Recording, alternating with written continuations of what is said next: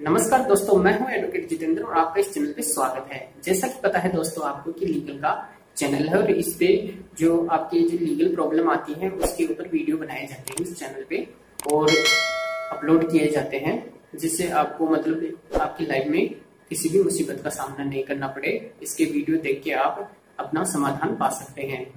तो ऐसे legal topic के ऊपर वीडियो बनाए जाते हैं इस चैनल के ऊपर। आज एक ऐसे टॉपिक के ऊपर बात करने वाले हैं कि पहले जागीरदारों के पास में बहुत ज़मीन थी। और एक, एक्ट ऐसा आया उन्नीस सौ छप्पन में कि उनकी जो जमीनें थी वो उनके नाम हो गई जो उस ज़मीन की बाहर जोत करते थे। मतलब उस ज़मीन पे जो खेती करते थे उन्हीं के नाम हो गई वो। एक ऐसा एक्ट आया उन्नीस सौ छप्पन के अंदर कि उन्हीं के नाम हो गई वो ज़मीन। और ज़्यादातर ज़मीन पता है कि जागीरदार क्या खुद तो बातें नहीं थे। और वो मतलब और ही लोगों को बता के रखते थे तो वो ही वो खेती करते थे वहाँ पे। तो बहुत सी जमीनें ऐसे ही चली गई उनकी। और उनके पास में मतलब ना के बरोबर ज़मीन बची थी उस टाइम। तो इस तरह से उनकी जमीनें चली गई। तो एक कानूनी तरीका है इसके अंदर कि जो आपकी ज़मीन अगर ऐसे चली गई है तो आप उसको वापस प्राप्त कर सकते हैं। एक लीगल तरीका है। जो इसके ऊपर बताने वाला हूँ, उसके ऊपर अपन चर्चा करेंगे अभी कि जिससे आप अपनी ज़मीन को वापस प्राप्त कर सकते हैं। हर स्टेट में अलग अलग काश्तकारी अधिनियम है और उनके तहत अलग अलग तरीके से जमीनें मतलब उनके नाम हो गई, जो बाहर जोत कर रहे थे। तो राजस्थान में काश्तकारी अधिनियम उन्नीस सौ छप्पन की धारा उन्नीस के तहत जो बाहर जोत कर रहा था, उसी के नाम पे ज़मीन अलॉट हो गई थी। उस टाइम पे तो राजस्थान में सबसे ज़्यादा जागीरदारी थी मतलब जागीरदार सबसे ज़्यादा थे।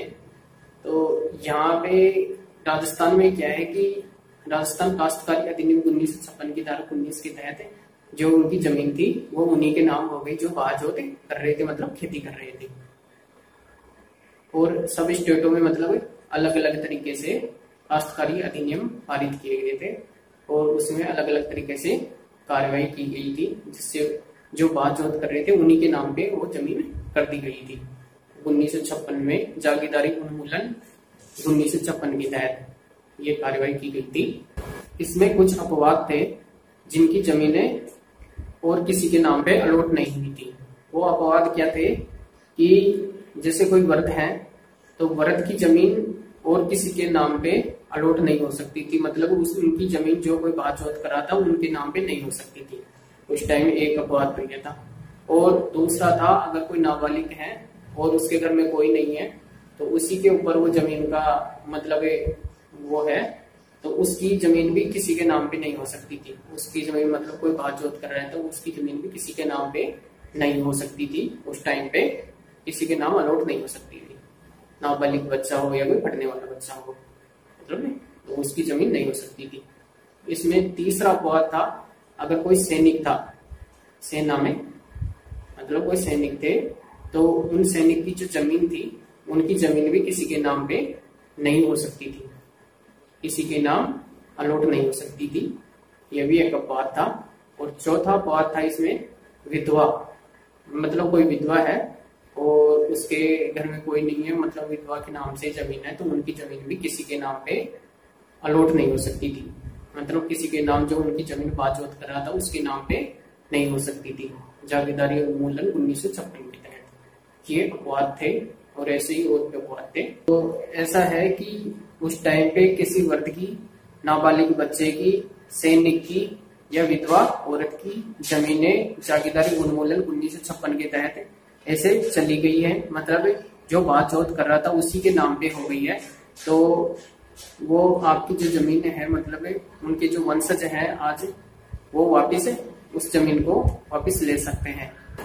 तो मैं आपको बता दूँ कि परिसीमा अधिनियम की धारा पाँच के तहत आप विद्वान वकील के माध्यम से कोर्ट में जाइए और परिसीमा अधिनियम की धारा पाँच के तहत आवेदन कीजिए कि ऐसे ऐसे ये जो अपवाद थे, इन अपवादों के होते हुए मतलब अगर कोई ज़मीन वर्त की थी, नाबालिग बच्चे की थी, सैनिक की थी या विधवा की थी उस टाइम पे और उनकी ज़मीन किसी के नाम पे हो गई है।